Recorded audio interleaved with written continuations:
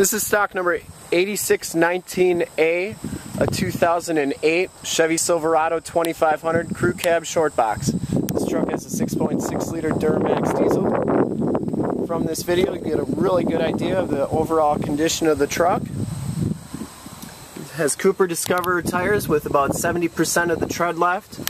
Factory alloy rims that are in pretty decent condition.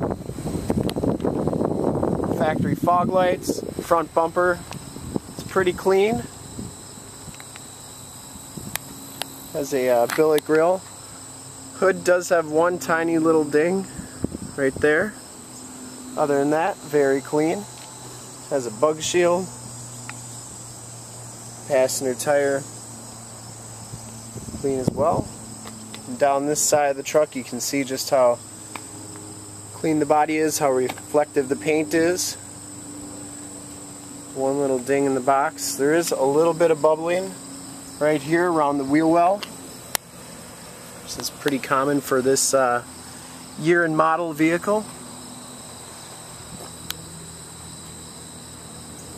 Back tires have just as much tread as the front tires. You can see the frame.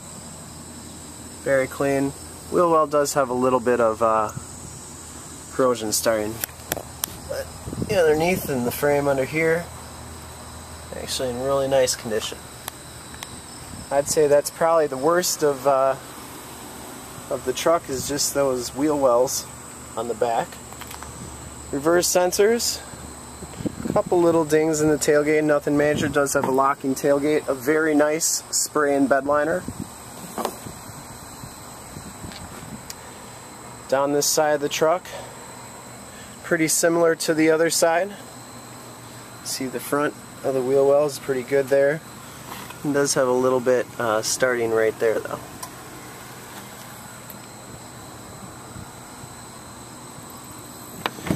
Inside, this is the uh, LTZ or LT3 package, which gives you the black leather seats. Both these seats are heated and power.